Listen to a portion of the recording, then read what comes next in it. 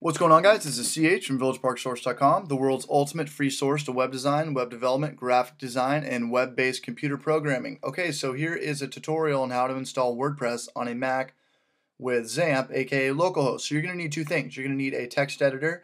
Doesn't matter what you use, there's no right or wrong. I'm going to be using probably TextMate for this tutorial.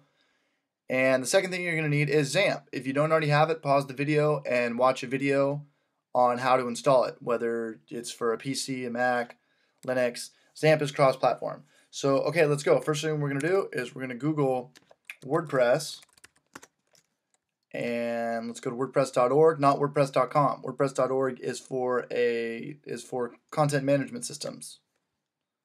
And let's go ahead and go over here. You can either click download right here or download right here. It's the same link. I'll just download it download WordPress 3.4.2, which right now is the most current um, version of WordPress, which means it's got the newest PHP functions and the newest interfaces and all that stuff. Up here, it's downloading. I'm going to pause the video and wait till it's done downloading. So now it's done. So I'm going to go to my applications, click on downloads, and there is my WordPress file. And what I'm going to do is I'm going to rename it uh, Village Park. You can call it anything you want. You can even leave it at WordPress, just as long as you can remember it. So when we add it into our URL right here, it's the same as what we titled our folder. So I'm going to call it Village Park, one word. You can call it anything you want. Again, there's no right or wrong. So what I'm going to do now is I'm going to turn on our XAMPP control, turn on Apache and MySQL. Doesn't matter if you have um, your FTP turned on because we're not FTPing anything. So once you have this turned on, go to, I'm going to open up another tab. I'm on Safari. You could be on whatever. Just type in localhost, not www.localhost.com, just localhost. I'm going to click on XAMPP. And I'm going to go to PHP MyAdmin right here, which is an awesome MySQL application. I'm going to create a new database. Call it whatever you want. I'm just going to call it Surf. Let's go ahead and click Create. There it is. We don't need a new table. We just need to know that Surf is a database. Is a is a yeah, it's a database in our um, on our localhost. So we'll go home. See Surf over there. Okay. So now what we need to do is we need to go ahead and configure our our WordPress file. And inside here, keep in mind it says Village Park just because I customized it, but it's really just our WordPress folder. It's a brand new um, I'm going to close this out. It's a brand new folder of WordPress. So the folder that we need right now is our wp-config-sample.php folder. So I'm going to open this up with my text editor, probably TextMate because Dreamweaver takes forever to open. And okay, so here's our file, wp-config-sample.php. Don't worry about this blue stuff. That just means it's been commented out in PHP. That's how you comment in PHP. So what we need is there's three parts we need to fill in right here. It's our database name, which we called surf, our username here, and by default, unless you changed it, I don't recommend doing it because um, it's it's not really confusing, but it's just like another thing you need to learn how to do.